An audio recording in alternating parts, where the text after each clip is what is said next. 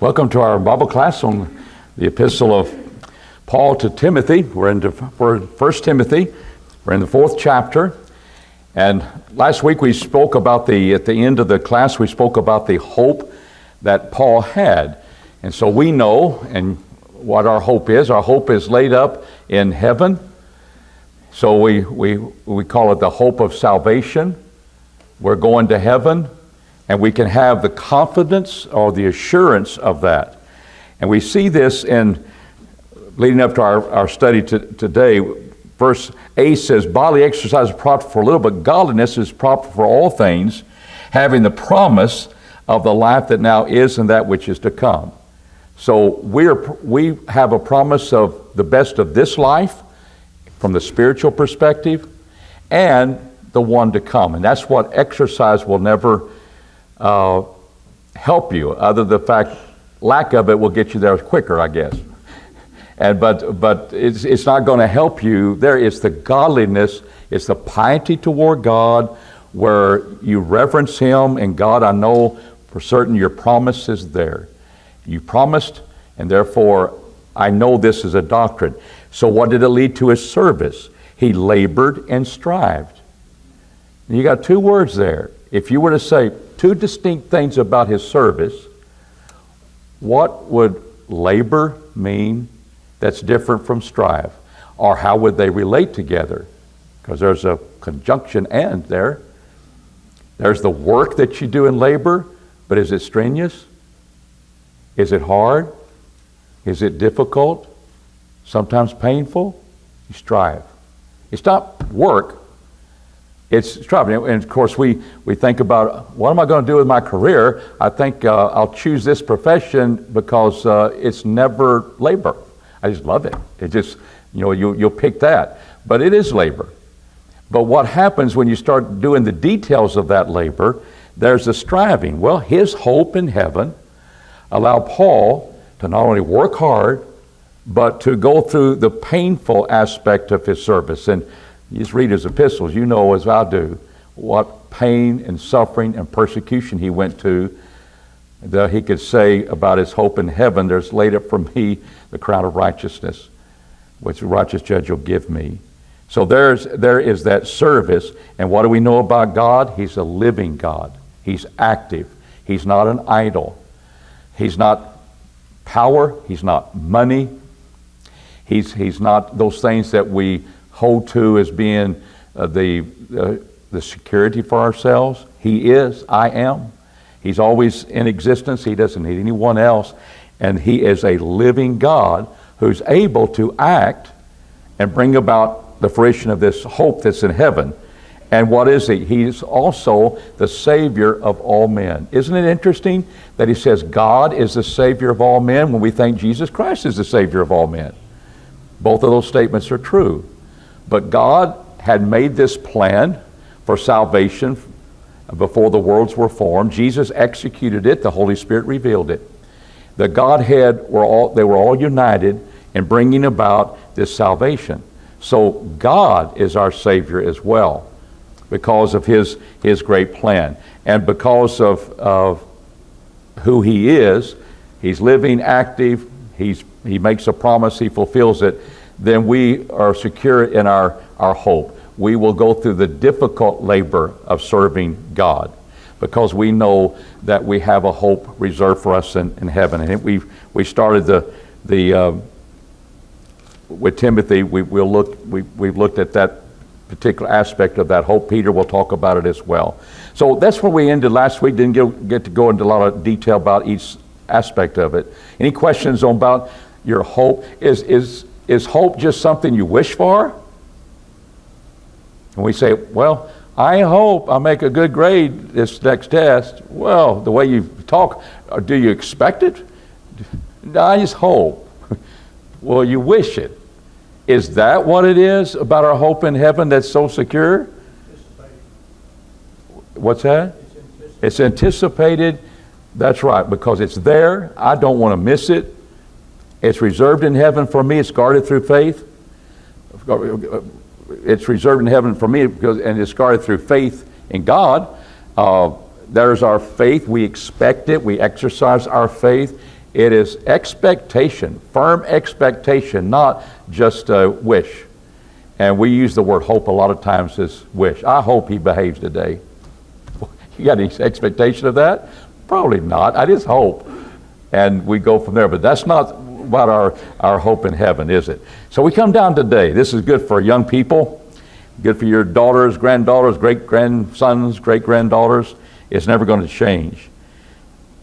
And he says in verse 11, These things command and teach. There's the, there's the parts that we've just looked at. But then he says, Let no man despise thy youth. Do you get the idea that Timothy is young? From the perspective of the Holy Spirit, in the culture in which he lived, uh, he was still young. And what does the word despise uh, mean? I use American Standard has that. You might have other newer translations that, that but what I, what I can gather from the word is to kind of look down upon, despise. Uh, does anyone like to be looked down upon? No. Uh, we don't like that. And here are young people. Yeah, Dan? Yeah?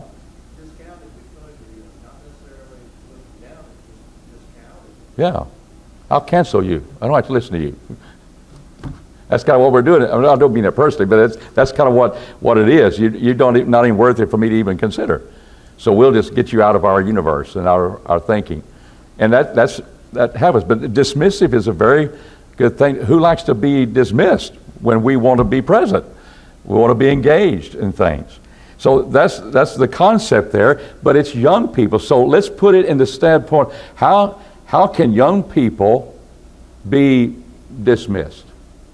So you're, I guess you're older, and you know, I'll just, I'll I despise them. I look down upon them. I, I dismiss them, dismissive toward them.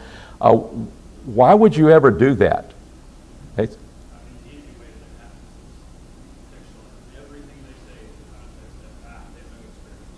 Yeah. They're just young. No experience. Wait till you get my age, you know. And that's spirits talking. And usually they get there and maybe 20 years, well, you're dead and gone, and they remember that. So uh, you have a legacy. But you, uh, you're popping up daisies. You don't know that maybe. that, but that's true. You're inexperienced and therefore there. So let's take a short. Know,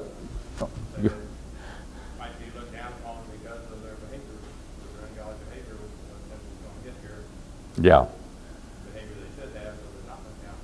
That's right. And, and that's the, that's the solution. That's a guard against that. That's, that's true. But instead of character change, which we're doing, we're showing you change your character. That's God's way. What do, what will inexperienced youth, how will they uh, try to overcome being despised?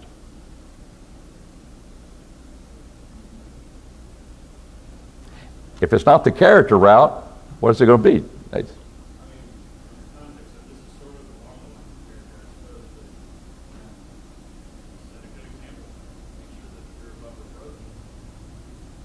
That's right, and there's the character. So I'm going to be a good example. No, I'm going to burn down your office. You don't, don't you despise me. I'm going to burn down your store. Don't you, don't you dismiss me like you do because I'm just young. Uh, we will get in your face. I'm woman, hear me roar. Whoa. Where's the meek and quiet spirit that is a God that is a great price before God? And so we force, you will, you will honor me because I'll cut your throat if you don't. I'll be in a game. And you will reverence. We're not dismissive. We're, we're we will do you harm. And the fear comes in and you're supposed to not be despised, you'll be despised even worse. So God's way is interesting. You've already, you've already hit on that. He, he deals with character change. And the character change when we become a Christian, but then the character that the Christian ought to be living is how, how we ought to be living is there. So you be a, my version always gives it, it's not example, It's in sample. It's the word tupos, which means it's a little bit stronger example. It's not something coming out of something, it's something printed. Uh, it's, it's struck. And so you got there, I'm in your face. Whoa, no, I'm, I'm here to do you good. I'm here, uh, my character is going to be godly, which uh, you will profit from, by the way, uh, if I'm a young person. So they, you're to be, you have that example for, for them uh, and that believe, and you, and you have it in all aspects of your life, in word, and how inclusive is manner of life. What do, you ex- what do you exclude from that? I exclude my words in this context, but everything else is game. Everything else is there. How does a young person react to crisis that they've never had experience before? How do they, how do they deal with that? How, how did they deal with failure? Blame somebody else? Yeah, that's the way a lot of people do. Or reflect upon that and uh, kind of be silent about it and learn something about it uh, instead of getting your face and how come, how come you, you did that? And, and some of it is we, we have righteous indignation when we're young and we think everybody ought to I treat people right. Well, I'll be treated right. And when the bus driver turns my car halfway up in a parking lot, I, am indignant. he, he's, he's dismissed me. He's trying to teach me a lesson going the wrong way in a parking lot at 5 o'clock in the afternoon. Nobody's there. But he, he did a number on me, and I remember going to the principal, and I was irate. Fire him. You know, that's what he's supposed to do. Well, we don't fire the, we don't, we don't even give a ticket on the, on the uh, parking lot as if I don't remember this. It's an issue with me. I still do. Kathy's in the car with me. She, she remembers it. But uh, there, I know as I wouldn't do that today, as uh, irate as I was. I didn't behave myself unseemly. Uh, Mr. James was very nice to me, the principal, and he understood that, but uh, he, we just eased the, the heat. I got a lot of heat when we were young. You have tempers and stuff like that. Well, that's, uh, that's the way we re- react to things, but that was a manner of life that could be sinful. I don't think it was sinful. Uh, he just grinned at me, and he knew, he taught me a lesson, I guess. But, uh, but the, it could issue into that. I could be cursing, I, I could be reacting in a way that wasn't righteous indignation, which Mr. James saw in me, and he tried to uh, settle me down. But that's when you're young. And I, I still think I was right. and uh, I knew I was wrong the way, but there was nobody in the parking lot. So, so here we go from there. And, but that's what happens with youth. And if we're not careful, the manner of life will, we want how, how do they react to a crisis? Uh, what's their, it's distinct from speech because your word. It's distinct from your teaching, that's your word. It's how you live. Peter talked about that knowing that these things are all to be dissolved, what manner of person are we to be in righteous living, in holy living? What manner of persons? It, it means uh, what country you're from. And you know, we see part of our, in the United States, can you tell when somebody's from Alabama or Tennessee instead of New York? You listen to them, they're just, oh, that guy's from Tennessee. You're from Texas. Texas has its own uh, accent. So we see what part of the country you're from. And people see our, our character of living in crisis, in good times, being cheerful because God allows you to be cheerful even when you're sorrowing. He allows you to be cheerful through the difficult times because uh, this is just a journey and you're going to try to make the best you can and, and, and helping and glorifying God in the things that you do. So there's, it's a very inc- inclusive thing. And a lot of times young people have a hot temper and they, and they grow out of it before 40, usually. They're supposed to. To be grown up there. And uh, that, that's what we're hoping will happen. And I'm wishing, I hope it'll happen when I say I'm wishing. So it's a manner of life. But look at the manner of life. Here's the category. In love, that means I place a value on everybody in this world because they're in this world. They're made in the image of God. And the love here is placing value. I can place a value on a person who's my enemy. I can place a value on someone that's done me harm. Uh, and I will show love toward them, not get even with them. In love, in faith, and purity. There's your manner of life categories. And in faith, and then the purity that I'm holy, living before God, those are things that are, are there. And if you teach your, just think of it, when you, you, you have children, you've got young people, you've raised them, they're, they're fine young people. When you see them interact now in the world, uh, and you've brought them along, what, you know, you get feedback sometime. he's a little different. She's a little different, what we're all used to in this world. Uh, I don't hear foul mouth. I don't uh, out of them. I don't. I don't hear them try, trying to get even or lying or bickering about other students or other children around them.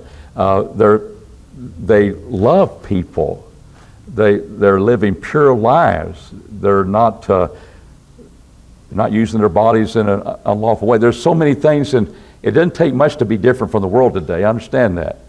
Uh, but there's always a difference in the world of young people that are not striving to guard against being despised because a lot of times they're not despised, they are admired. And why are they admired? Because of this character, these characteristics. So when you, you, you, you teach your children these things, uh, it sets them up, and people may never come to you and compliment you, but they see it and they respect it. You respect character. And what a wonderful thing to get into our uh, minds of our children. Any, any comments you'd like to add to that? That's the hard road. Change your character, and you'll eliminate despising from people. Now, they may persecute you now because you just, you just hit their, their conscience and you made them look bad, and they're going to go after you. Uh, so what? How do you handle that? We, got we know manner of life about suffering persecution. And, and when we get that, we raise them early, our children early, and they can be that way as adults you got a fine human being on your hands and a fine uh, man and woman. Any, any comments on, on this? Yes, Eric?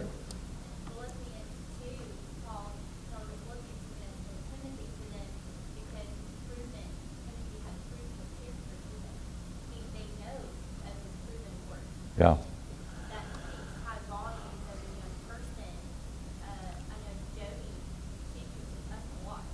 Yeah.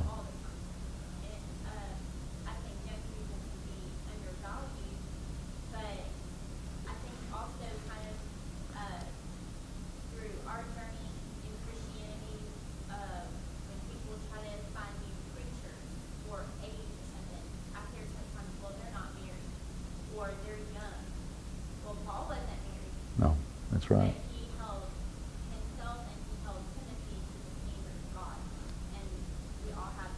That's right. And, and as a congregation, I can commend church here.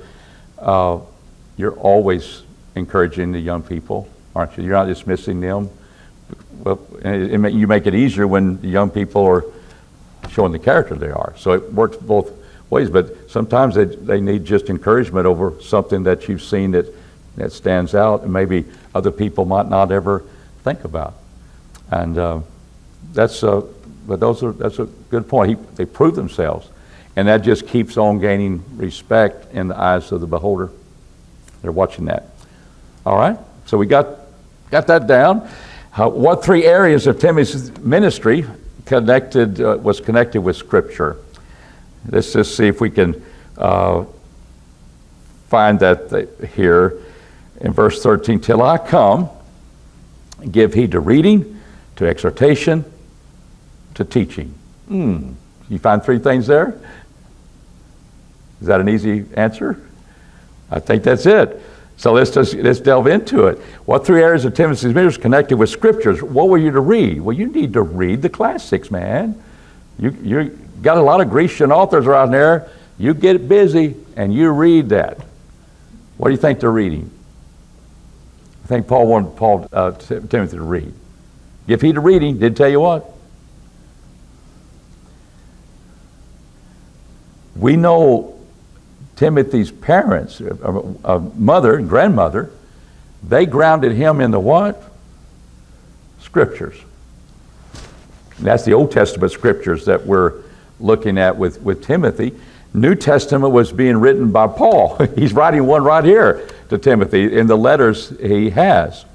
But the idea of listening to the letters of Paul as now that Old Testament that's grounded him is being fulfilled, you keep reading these, these, these epistles, you keep reading the scriptures. These are written for your learning as now they're able to see in their own uh, up to date experience that hasn't been written down yet, uh, that's confirming uh, what they're going to have written down by Paul and the other authors. Uh, you keep, you read. And, and a lot of this reading would be public reading of, of the Old Testament scriptures and then show, well, this is how it's being fulfilled in, in Christ. Or reading these letters. It's always amazed me that, you know, they were like the, this is written to an individual, but the book of Ephesians and the, uh, to the churches, they were they were read to the audience. So you had slaves and children and husbands and wives, and they're listening to Ephesians 5, Ephesians 6, and getting the exhortation and admonition and warning and teaching. Uh, Timothy would be reading to the church those, those letters that being circ- circulated by Paul. So that's the type of reading do. Well, you need some outside reading. And what are you going to read this summer? I read some mystery. You know, I'm doing a lot of reading. Paul said, give yourself to reading. Well, what kind of reading in his ministry? And that's the idea of getting the tech. What does that tell you about the nature of Christianity? What I just said is true of reading Scripture. Reading. You know, you read words, they come to your mind. Uh, you see the context of what is being said, the cognitive side of you. It's not the emotional side of you that's reached, it's the cognitive side. I, I read it, I absorb it, I learn it, it's part, it's changed my character. Whew, and it hurts. It hurts. I don't like that. I, I, that's not me, and I'll, I have to strive tomorrow. Labor and strive uh, to, to even be a, be a Christian. But there's the, there's the thought that we're looking at of, of reading, and then what follows that when you see the reading of Scripture and application through epistles that Timothy is being read, circulated by Paul, uh, exhortation. So, what's the difference between exhortation and teaching? Because he says now teaching. What's the difference between exhortation what is teaching? That's different. It's, it's the order of teaching. so we don't we, we don't uh, accentuate doctrine here. What's doctrine? It's teaching. We just love Jesus. Well, that's doctrine. It's teaching. We're not to go beyond the doctrine of Christ, the teaching that Christ has given. And I emphasize that because I've uh, engaged with some with a preacher in a congregation. You think a congregation has learned this, uh, but they there's there's new people coming in all the time. They don't know what doctrine is, and they are they're coming in with uh, what do you mean doctrinal stuff? I want a relationship, and they fail to realize that the relationship is built upon the doctrine. And I hope we'll never get there because this is a congregation I thought was well grounded, and all of a sudden, people are questioning this, questioning that. There's people, younger people growing up, and they're being influenced. That's why you have to come back to it. And when you have, this, for example, and this is the example that was given to me, you, you go through the book of Romans. Do you see a transition from Romans 12 through 16 that's different from Romans 1 through 11? Do you see a transition? Let's put it that way. Uh, humor me, please. Go, go to Romans 12. uh, verse 1. What does it say? We're going to do some reading. What does it say? I beseech you, and what's the next word? Brethren, I beseech you, therefore, brethren, by the mercies of God, to present your bodies a living sacrifice, holy, acceptable to God. It kind of fits with what we're talking about. What has what does a therefore make you do? Cognitive reasoning. Therefore, does something have to come before for you to say a therefore that's important? Yeah. Try to think of it when it doesn't. That here is this. Fine, do you know the speed limit is 30 miles an hour? And you know it, the parking lot it says this way, it's one way, and therefore you just got hit because you're going the wrong way. Therefore, what's the based? It's based upon a fact. It's based upon teaching. It's based upon what's been established. It's based upon doctrine. And when he says the mercies of God, therefore, the mercies of God, the first 11 chapters is telling you how you're saved by the grace of God and his mercy. That's doctrine. And it's being applied now to your life. Now, because of what God's done for you in these first 11 chapters, therefore, you present your bodies a living sacrifice. And if present your bodies living sacrifice, oh, that sounds good. I'll just have a relationship. What's it based upon? By the mercies of God, I bought with the price, glorify God in my body. You go through all the New Testament, you'll find doctrine, doctrine, doctrine that's telling you why you need to present your body a living sacrifice. God owns you. Jesus owns you. And the first 11 chapters of Romans are there. You go to Colossians, the second chapter. This is the one I have dealt with because people say, we're not issue oriented. We're a good church. We're not issue oriented like some churches are. What's an issue?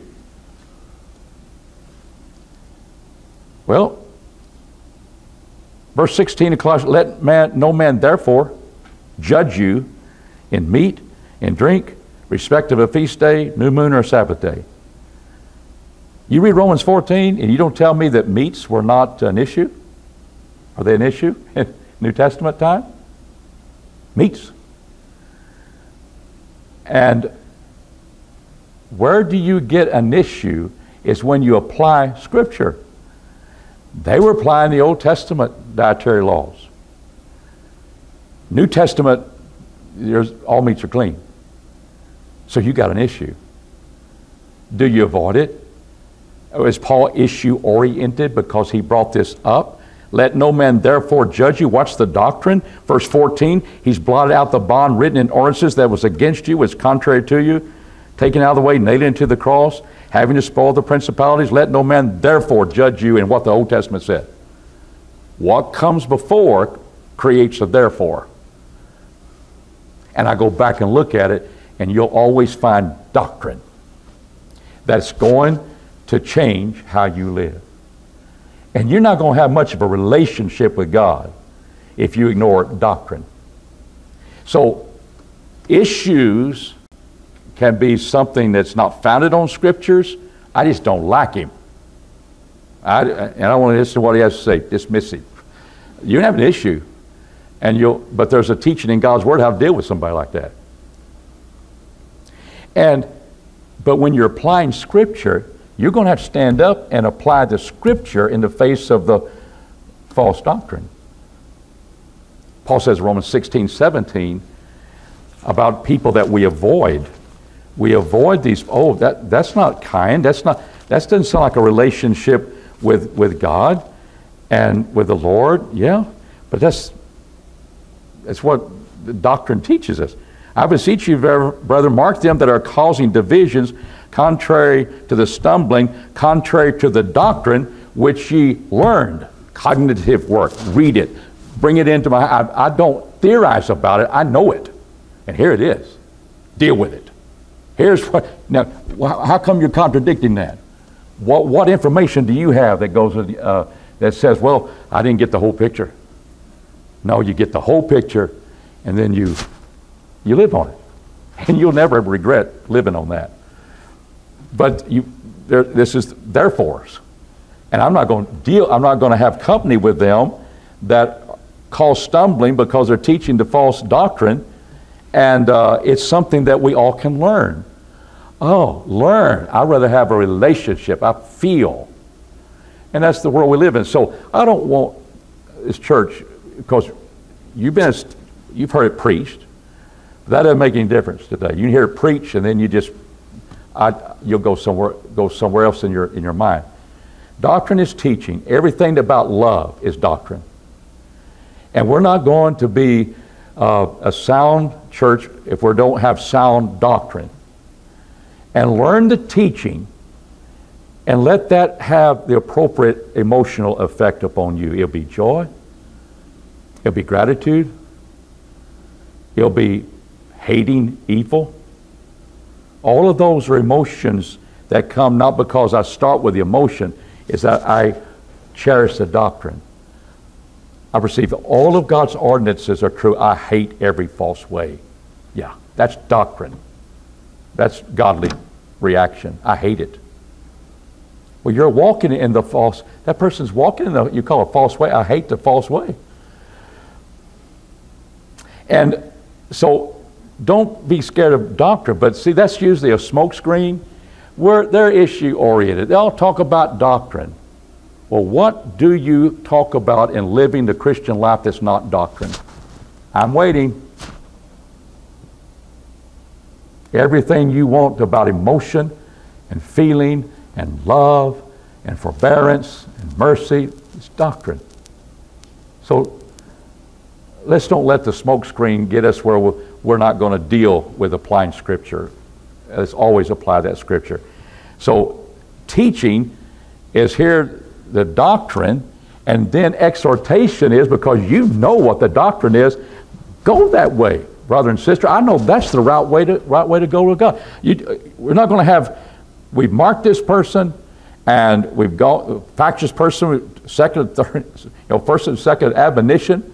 Uh, but here they are. This is the life they're living, and we're going to let we don't. That's not the character of the Christian. We want everybody to know that, and be willing to stand up for what te- doctrine is. But when people are there and they're on the verge of which way shall we go, exhort them. Exhortation is not refutation or it's not uh, turning them away from something, it's exhorting them. All right, let's go. Let's go. Get up. They started walking. Come on, walk some more. And you're exhorting them in the way they should go. So, so here is the, the life of, of Timothy. There was the reading because the cognitive action of words, meaning, context. Here's the I can teach it now. Paul had confidence in Timothy to present all his ways in Christ. Why? Timothy is going to tell others about what you teach, Paul?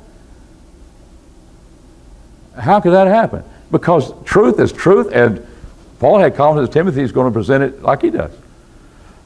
We can all believe the same thing. We to strive to believe the same thing. And when he does that, he teaches it and exhorts people to go. Now, we've all, we, we've seen Paul said there's other things for the chapter this book has ended. There's other things you do than just exhort. You reprove, you rebuke, you exhort. But here, exhortation, being a good minister of those things, and that's what his ministry ought to be connected with. Now, question 13 How did prophecy and their presbytery, presbytery relate to Timothy's spiritual gift? There's, there's a lot of things going on in that question. Let's see if we can uh, see it unfold before us. Verse 14 Neglect not the gift that is in thee. I'm saying that's a spiritual gift that was in him. Do you see whatever that gift is in him? Was it overpowering him? Got the Spirit in me? Miraculous, I got a miraculous gift and I've got to use it. Well, 1 Corinthians 14, they had miraculous gifts and said, don't use it right now. Be quiet and let others speak. Before you speak. So that, that was how they exercised in their assembly these miraculous gifts. But here we're looking at something else here. If you can neglect it, it's something that's not overpowering your will. Is it? If I can't help but deal with that, uh, then you might have a, a power overpowering me that, that regardless of where I am and what I'm feeling and all that, I, I can't neglect it because you, the spiritual gift is powerful. We've got to do it. You can neglect a spiritual gift because he said, don't do it. If it's impossible for him to do that, so here's a miraculous spiritual gift and the exercise thereof, especially with Timothy. I think I'll be a little, I won't preach today. When I, God has given me inspiration to do that with miraculous gift. But he says, neglect not. So there's your spiritual gift, which was given thee by what? Prophecy. How was that gift given by prophecy? What's that? No, that's how, that's how it was given, but that was given by the presbytery. That was done by the presbytery. Something else was done by prophecy. And that's where I get, I get the presbytery. What is presbytery? Let's just get that. Who is that? Presbyterian. Where do you think they got it? This, the Greek word. What is it? It's not a denomination. What is it?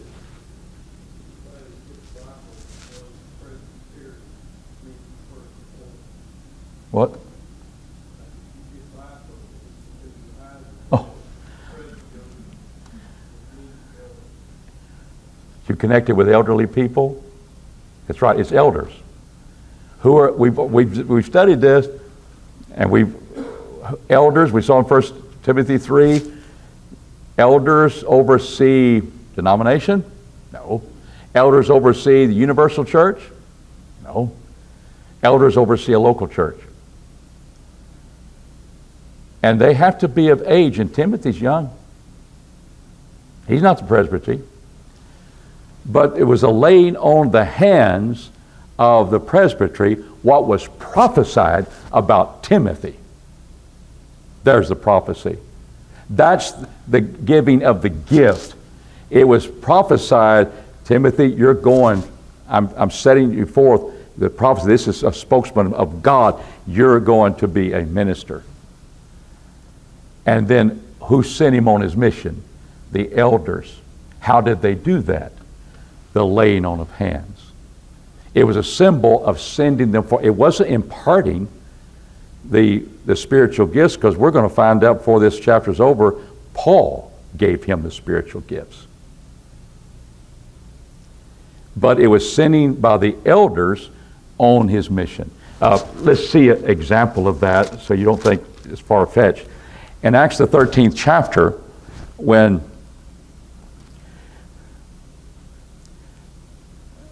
first sending of, of uh, Saul and Barnabas and their work and ministry, it said, as they ministered to the Lord in verse 2 and fasted, meaning, God, your way is more important than food, and we're concentrating on this mission he says, Separate me Barnabas and Saul for the work whereunto I've called them. And he says, Then when they had fasted and prayed, they laid their hands on them and they sent them away. The elders of that church in Antioch were led by, by them.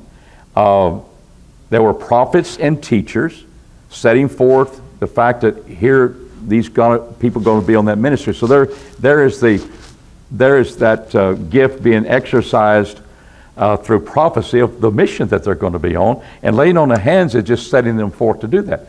They did lay hands on people, Paul, the apostles did, and uh, imparting spiritual gifts. But Paul was not a married man. How could he be the presbytery?